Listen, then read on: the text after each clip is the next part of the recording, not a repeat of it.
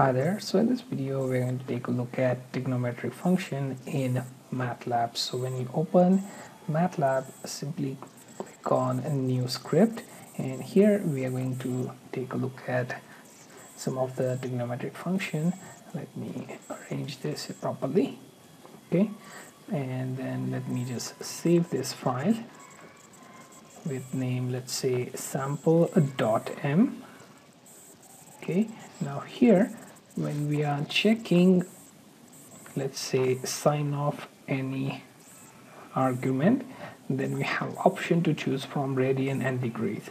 So for radian we use simple sine sin and in case of degree we use sine d okay? So let's take a look at that. Let's first create one value for x. So from minus pi to point not one up to pi okay? And after that let's see I'm gonna use plot and then give value to sine of x and close it okay? And finally I can also put grid on and run this okay? And let me change the path and should create my plot here. And you have here. Okay so this is my sine in radius. So this plot goes to show you how your sine value appears in radians.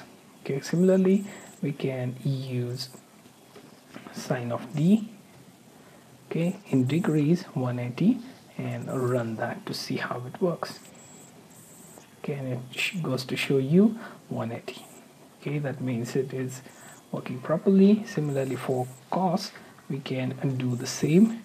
Can use minus pi to point not one to pi and then simply plot our cos value. Okay and this should be in radian so do note that okay now run this and you have your cosine value in radian similarly for cosine in degrees we use cos d and simply call for let's say 90 and run it and you have 0 okay so cos 90 and sine 180 okay so you get the idea how it works. Okay in case of tan we simply have to improve our formula. And let's see minus pi by 2 plus point not 1 to point not 1 to pi.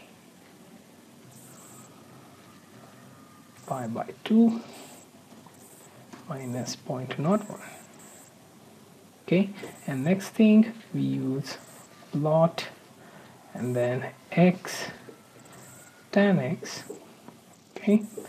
And after that let me just close this okay? And finally let's just use grid on and run this. And you get your tangent of argument in radians okay? So this plot goes to show your tangent in radian okay?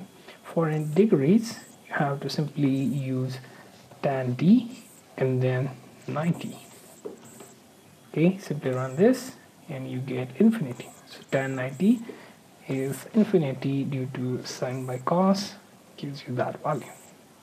Okay so let's go on for cotangent. So cotangent of argument in a radian we will take with two values. Let's say x1 which is from minus pi plus point not one into point not one. Let's say minus point not one. And for x2 we have point not one to point not one to pi minus 0.01 okay then you have your plot x1 and for cot I'm gonna pass x1 and then x2 and then I'm gonna point to cot of x2 again. Okay so I'm trying to plot this cotangent value into a plot and after that I will simply use grids for better accuracy. Okay and you get your values for these two cotangent values. Okay then you have cotangent in degrees for that. Let's just use one complex number. Let's say I have x equals to 35 plus 5i which is imaginary and then y equals to let's say cot d of x. Okay? And now we will simply output y. Okay? So let's run this.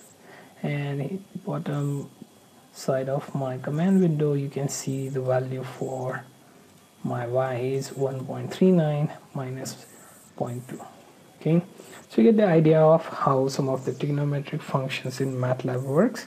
We have checked sine then sine in degrees then cos cos in degrees tan and tan in degrees okay? Same with cot and cot in degrees okay? So just make sure that you know which method you're calling for.